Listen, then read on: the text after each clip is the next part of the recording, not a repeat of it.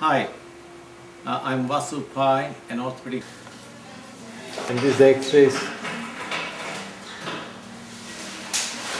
These X-rays of the abnormal side and these on the normal side. You can see the capitulum here is normal in just front of anterior humeral line where it is behind the humeral line and this is the lateral wave. It's a lateral condylar fracture. On. Okay. Now this is right inside. Uh, Tito wants. Good.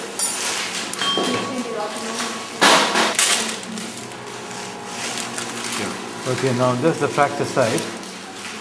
This is the lateral supracondylar ridge. Okay.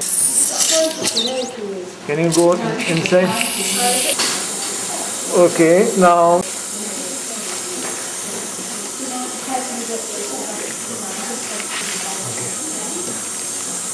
Uh, you can take this one now.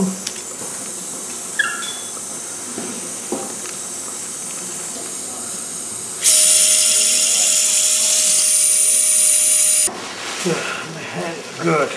So-? Oh no, no, we are all right at the moment.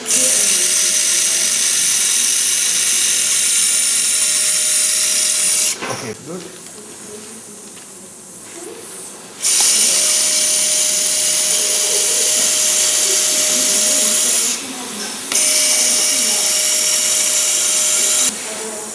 Okay, we are ready for the exercise, girls?